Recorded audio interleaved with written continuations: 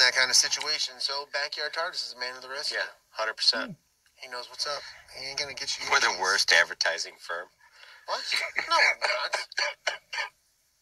He's, he would be like, "Would you guys please stop advertising for my?" Please just, don't. It's hit just- the West Coast.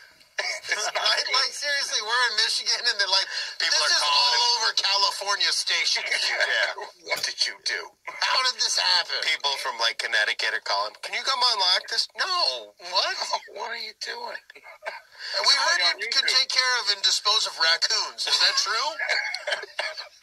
what the fuck are you talking about? Call the Terminator. I got. I gotta go Yeah, unlock. shit. I'm in locked in California. Well, we're in Connecticut. They're both C's, right? So you can get here. Yeah, they're the states are alphabetical, right? Are you? Is weed legal in your state? Are you high right now? Are you listening to yourself? That's irrelevant. Yeah. And by the way, have you ever ridden an elephant? And then he's like, "What the fuck is going on? I thought I was unlocking a door." oh, for fuck's sakes! It's out of control quick in that world, bro. Yeah. Yeah, This it is a magic carpet ride, dude. It does. Next, we have Big Swede for Big Swede. You guys wiretapping my phone? How are you getting this insider information?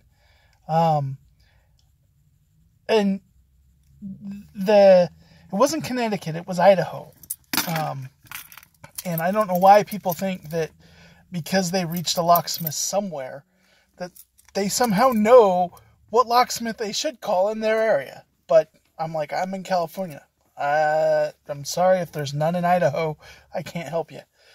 Um, and as far as the raccoons, uh, I did have a lady that was convinced that the raccoons had found her hide key that had gone missing, and that was how they were getting into her garage.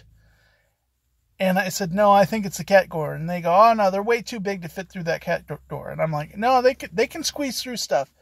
Nope, it's the keys. We need to rekey it. I'm like, it's the raccoons are not putting a key in the lock. They don't.